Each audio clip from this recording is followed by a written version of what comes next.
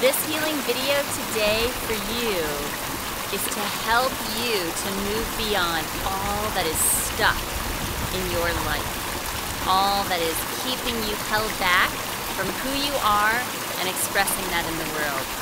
On my birthday, I give this gift to you.